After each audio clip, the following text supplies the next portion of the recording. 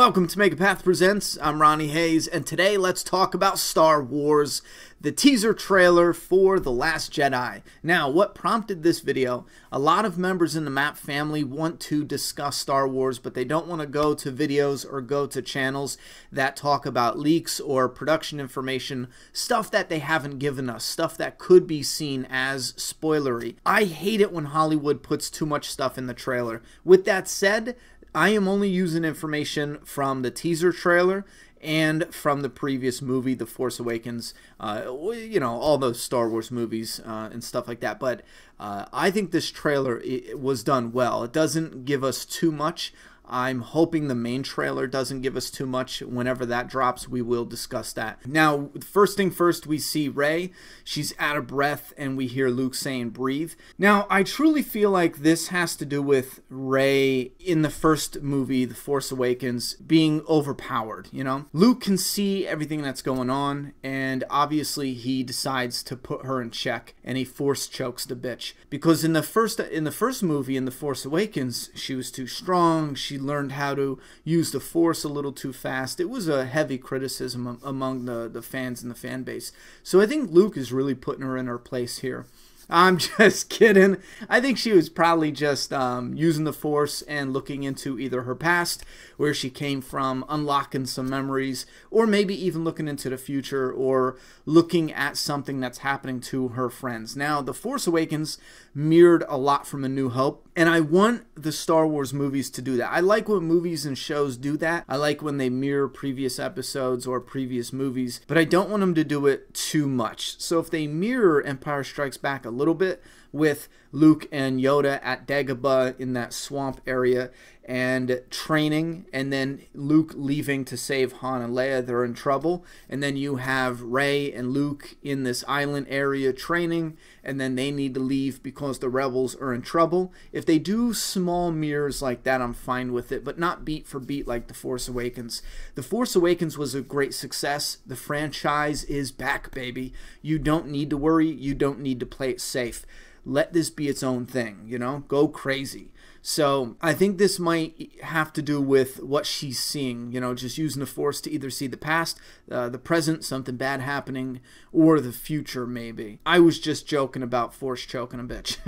anyway, we get nice establishing shots of the island. And again, how it mirrors it, I love the environment in Empire Strikes Back with Dagobah and Yoda. And I also love the environment here with Luke and Rey training on this island. It is freaking freaking great. In this scene especially, now she doesn't need Luke to be training her at this point in time because she has used the Force already. She used the Force to gain the advantage and kind of put the, the beat down a little bit on Kylo Ren. She used the Jedi mind trick on the uh, Stormtrooper. She used the Force to pull the lightsaber to her. So this could just be her practicing and um, getting better controlling her powers by herself. And again, I love how this mirrors the Empire Strikes Empire Strikes Back a little bit because in that one you have Yoda training Luke how to lift the the big rocks, and then here you have Rey lifting the the small pebbles.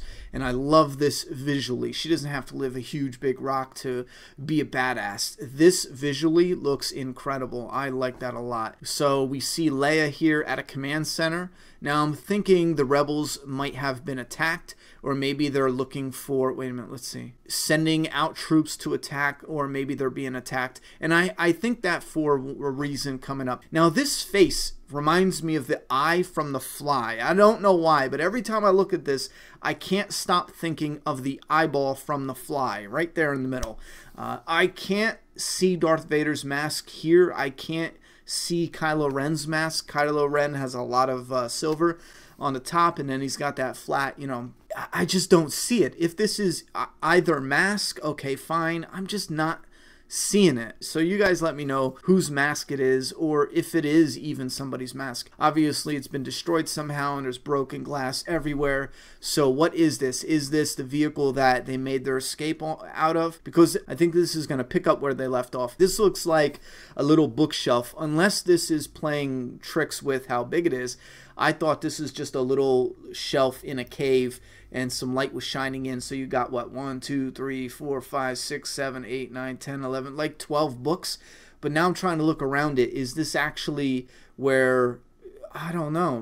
My perception's off. Is this actually something that's huge and that's the floor? Or is that like a little shelf? I don't know. You guys let me know what you think. But the reason I said I thought it was a bookshelf is just a little one too. Like that you know, is just a little shelf on the wall, and this is a book that has some like ancient, you know, scripts in it from the uh, Jedi back in the the olden days. Now you have uh, Rey and Luke training. She's training with the lightsaber. I really like this, and I think a good chunk of this episode will take place with Rey training on this island, and that's fine. I love it.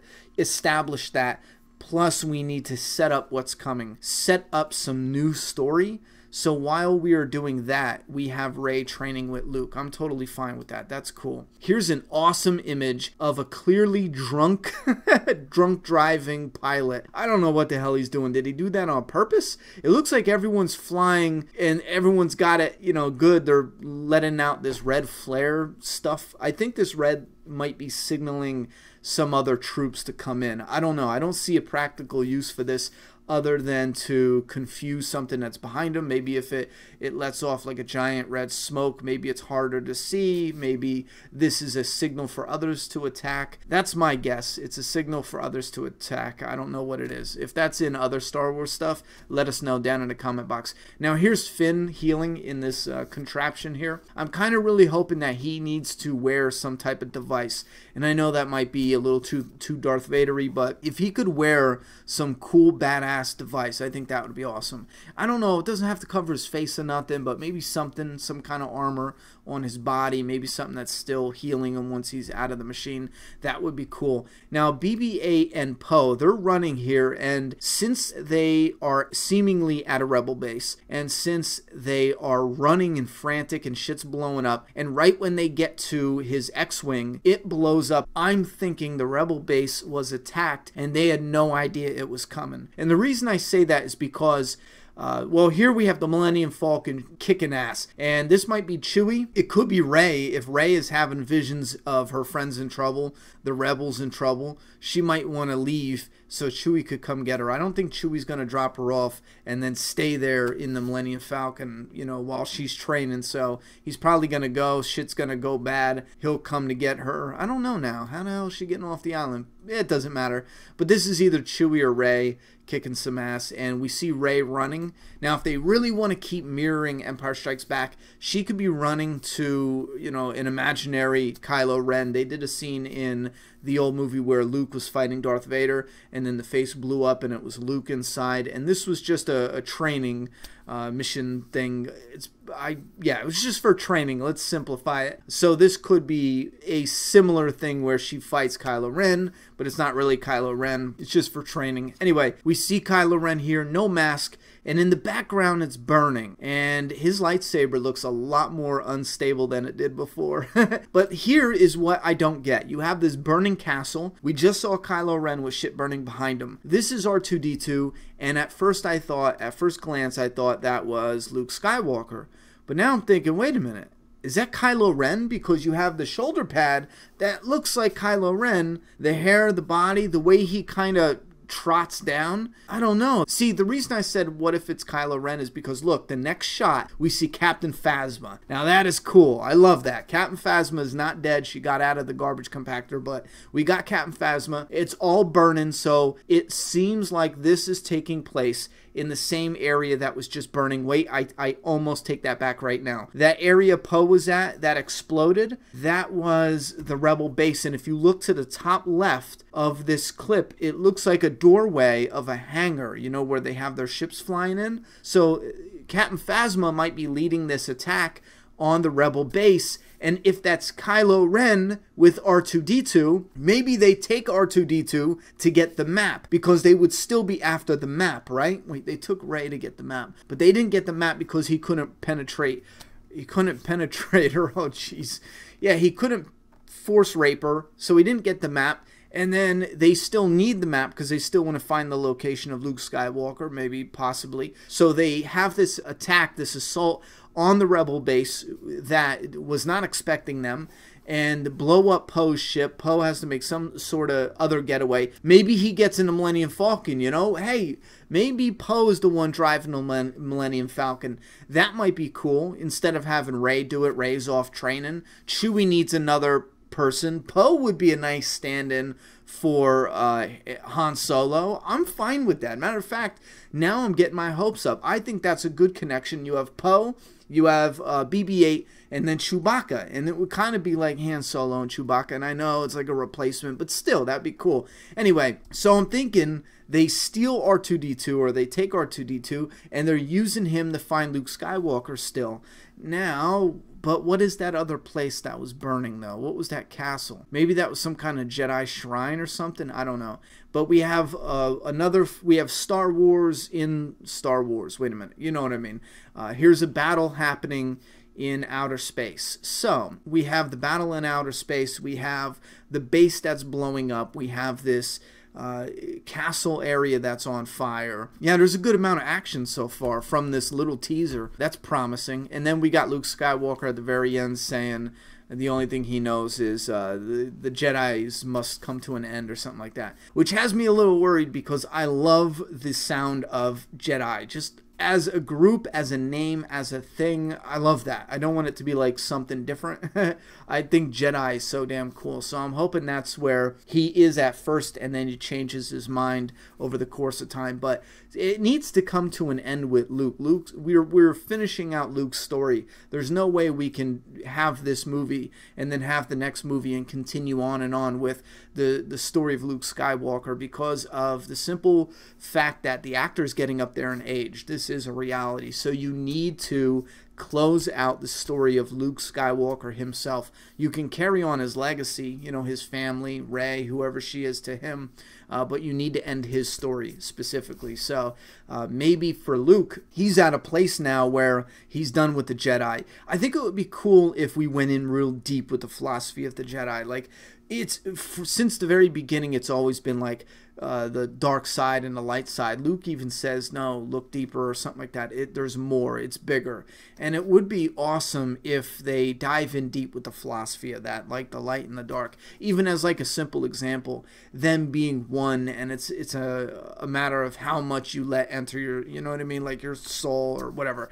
That's not what I want them to do. That's just like a little example of go in deep and explain more. I'm really excited for this, but if that is Luke's, because keep in mind, Luke didn't leave the Rock when Han was dying, when they were blowing up planets, when Kylo Ren and the First Order they were pulling shit together. Luke, when he was younger, he had visions of his friends in trouble. So on the island, he had to have known shit was going down and in a bad way. And he didn't leave the island. So this is going to be a very different Luke. This is not going to be a Luke, at least I don't feel like. This is not going to be a Luke who's like, okay, saddle up, let's go kick some ass. This might be a Luke who doesn't want to fight. This might be a Luke who I don't know, just doesn't want to be involved, but not like he's like, oh, I just want to grow old, leave me out of this. But he could know something, you know what I mean? Something more to it. Like, no matter what he wanted to do, there was no stopping what was going to happen to Han Solo. And that's, that's why he didn't go save Han, you know what I mean? something like that. But anyway, I'm getting ahead of myself. We're going to dive in deep with the, the main trailer. I, I don't know when that's going to drop, but it will be soon. This comes out this December. I'm really excited for this. More excited than The Force Awakens. And uh, if you guys want to leave your thoughts and opinions in the comment box, definitely feel free. If I missed anything in this trailer, uh, I'm really excited that we're getting the Cap Phasma because she looks like a cool stormtrooper. So I want them to do something uh, more, a lot more than what they did in The Force Awakens. Don't Boba Fett her ass. Do something cool with her. Uh, there's just a lot more that I want them to do. I really want the story to uh, detach from the older movies, mirror it a little bit, but be your own thing. You know what I mean? Go crazy, do your own thing with the story. Anyway, thoughts and opinions, theories and predictions, put those down in the comment box. I'm done talking, so it's your turn